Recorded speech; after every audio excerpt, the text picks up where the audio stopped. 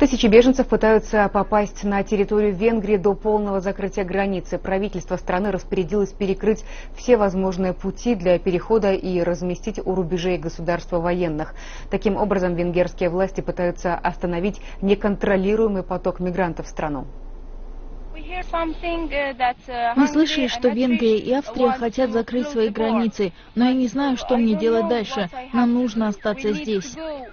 Более развитые европейские страны должны взять на себя коллективную ответственность за беженцев. Они должны сделать все возможное для интеграции этих людей в общество и задействовать их в экономике. И о глобальном разделении ответственности. Именно это необходимо в нынешней ситуации, а не строительство высоких заборов.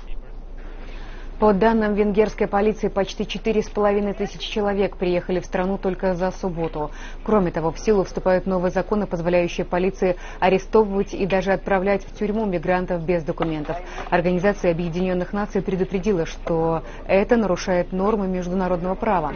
Если Венгрия закроет свои границы, это значит, что волна беженцев хлынет через Хорватию и Румынию.